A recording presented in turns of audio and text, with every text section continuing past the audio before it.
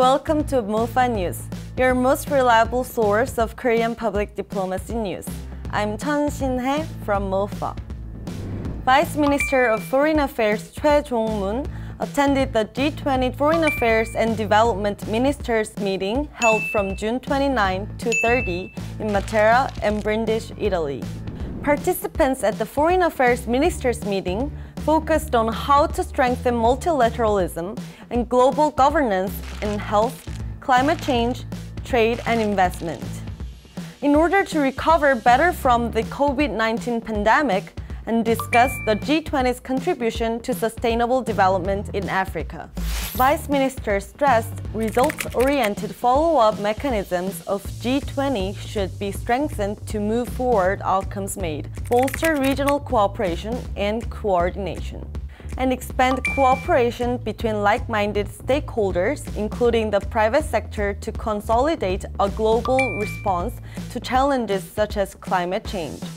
He further explained that Korea is promoting the Northeast Asia Cooperation Initiative for Infectious Disease Control and Public Health as part of efforts to strengthen regional cooperation, and mentioned that Korea hosted the P4G summit to promote public-private partnerships in promoting green growth. In addition, Vice Minister Choi emphasized the importance of increasing the G20 contribution to health, trade, and digital technology while respecting the ownership of Africa. He also explained that the Korean government provided $200 million worth of health assistance to support Africa's response to COVID-19.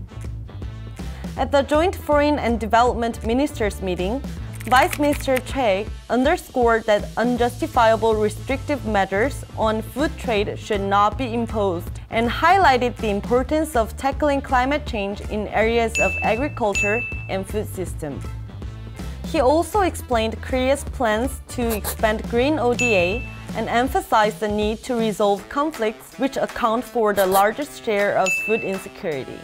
He also stressed the importance of coordination with various stakeholders, including the private sector and civil society to address food insecurity, and announced that the Korean government will positively consider joining the Food Coalition. Meanwhile, Vice Minister Choi mentioned at the Development Ministers meeting the importance of mobilizing private financing such as through the Green Bond and sharing knowledge among cities. Moreover, he explained that Korea will share the experience of CityNet's activities with the G20. The Korean government will implement the outcomes of the G20 Foreign and Development Ministers meeting and make continued effort to support the G20's efforts to address key global challenges. And this is MOFA News. Thank you.